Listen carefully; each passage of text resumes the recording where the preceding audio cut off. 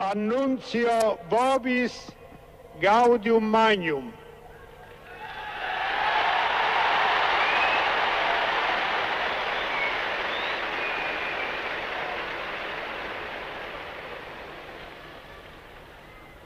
Habemus papam.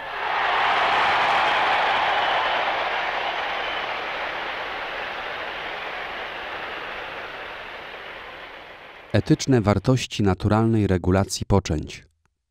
Katecheza świętego Jana Pawła II, wygłoszona 5 września 1984 roku. Mówiliśmy poprzednio o etycznej regulacji poczęć wedle nauki zawartej w encyklice Humane Vitae i w adhortacji Familiaris Consortio. Określenie etycznej regulacji poczęć nazwą naturalna – w oparciu o naturalny cykl płodności. Tłumaczy się tym, że odnośny sposób postępowania odpowiada tej prawdzie osoby, a zatem jej godności, jaka z natury przysługuje człowiekowi, istocie rozumnej i wolnej.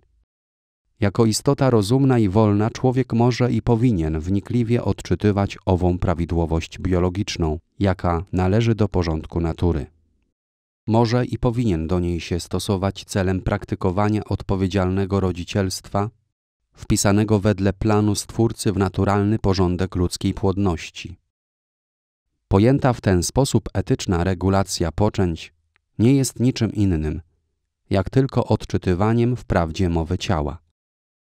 Sama cykliczność rytmów biologicznych należy do obiektywnej prawdy tej mowy – która winna być przez zainteresowane osoby odczytywana wedle pełnej swojej obiektywnej treści. Chodzi o to, że ciało mówi nie tylko całym zewnętrznym wyrazem męskości i kobiecości, ale także ukrytymi strukturami organizmu, reaktywności somatycznej i psychosomatycznej. Wszystko to musi znaleźć właściwe dla siebie miejsce w owym języku, jakim prowadzą swój dialog małżonkowie jako osoby wezwane do zjednoczenia wedle jedności ciała. Cały wysiłek zmierzający do coraz bardziej precyzyjnego poznania owych prawidłowości biologicznych, które dochodzą do głosu w związku z ludzkim rodzicielstwem, cały z kolei wysiłek doradców, jak wreszcie samych zainteresowanych małżonków, nie zmierza do biologizacji mowy ciała, do biologicznej etyki, jak utrzymują niektórzy, ale tylko i wyłącznie do zabezpieczenia bardziej integralnej prawdy tej mowy ciała, jaką w sposób dojrzały mają rozmawiać ze sobą małżonkowie wobec wymogów odpowiedzialnego rodzicielstwa. Encyklika Humane Vitae wielokrotnie podkreśla, że odpowiedzialne rodzicielstwo jest związane z pewnym stałym wysiłkiem i trudem że urzeczywistnia się za cenę określonej ascezy. Wszystkie te i podobne wyrażenia wskazują wyraźnie, że w wypadku odpowiedzialnego rodzicielstwa, czyli etycznie poprawnej regulacji poczęć, chodzi o to, co jest prawdziwym dobrem osoby ludzkiej, co odpowiada prawdziwej godności osoby. Wykorzystywanie cyklu bezpłodności w ramach współżycia małżeńskiego może stać się źródłem nadużyć jeżeli małżonkowie starają się na tej drodze wykluczyć bez słusznych przyczyn swoje rodzicielstwo lub zredukować je poniżej słusznego wymiaru dzietności swojej rodziny. Ten zaś słuszny wymiar należy ustalać, kierując się nie tylko względem na dobro własnej rodziny, w tym również na stan zdrowia i sił samych małżonków, ale także względem na dobro społeczeństwa, do którego przynależą na dobro Kościoła, a nawet poniekąd całej ludzkości.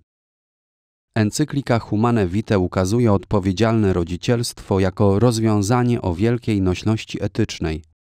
Żadną miarą nie jest ono jednostronnie skierowane tylko do ograniczania, a tym bardziej do całkowitego wykluczenia potomstwa.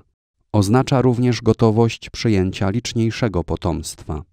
Przede wszystkim zaś odpowiedzialne rodzicielstwo wiąże się, wedle słów encykliki, z głęboką ideą należącą do obiektywnego porządku moralnego, ustanowionego przez Boga, którego to porządku prawdziwym tłumaczem jest prawe sumienie.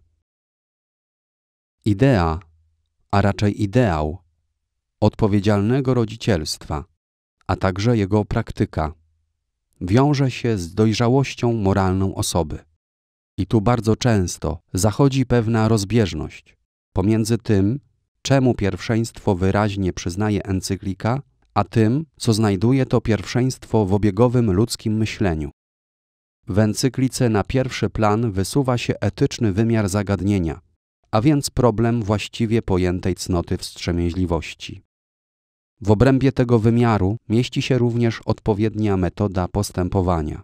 W myśleniu obiegowym wielokrotnie dzieje się tak, że metoda oderwana od właściwego sobie wymiaru etycznego zostaje potraktowana w sposób czysto funkcjonalny, a nawet wręcz utylitarny. Odrywając metodę naturalną od wymiaru etycznego, przestaje się dostrzegać różnice w stosunku do innych metod, sztucznych, a nawet wypowiada się takie zdania, jakby chodziło tutaj tylko o jedną z form antykoncepcji.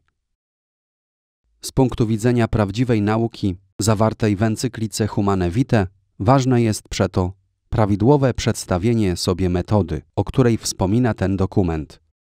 Nade wszystko jednak ważne jest pogłębienie tego wymiaru etycznego, w obrębie którego metoda jako naturalna nabiera również znaczenia metody etycznej, etycznie poprawnej. I dlatego też główną uwagę w ramach niniejszej analizy wypadnie nam zwrócić na to, co encyklika mówi na temat panowania nad sobą oraz wstrzemięźliwości. Bez wnikliwej interpretacji tego tematu nie docieramy do rdzenia prawdy etycznej, a także prawdy antropologicznej zagadnienia.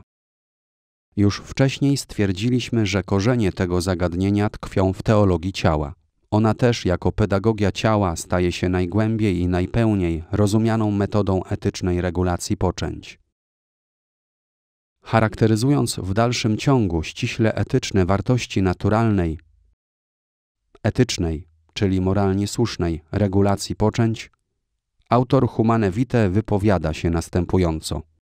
Opanowanie to przynosi życiu rodzinnemu obfite owoce w postaci harmonii i pokoju oraz pomaga w przezwyciężaniu innych jeszcze trudności.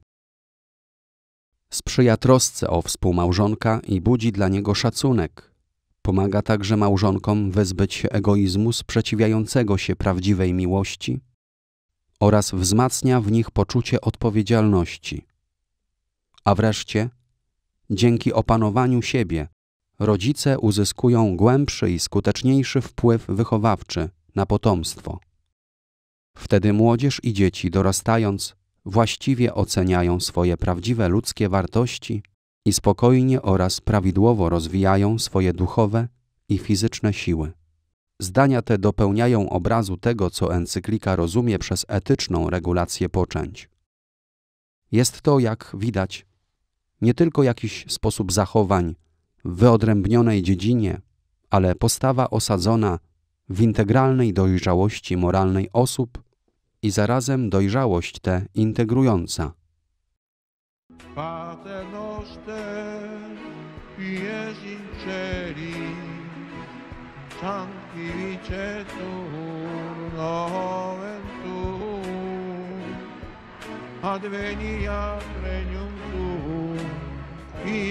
voluntas tua, sicur in cielo ed in terra. Pane nostrum quotidianum da nobis odie, et dimitte nobis levita nostra, circuda nostri vittimus, debitoribus nostri, et ne nos induca in tentatione, sed libera nos a.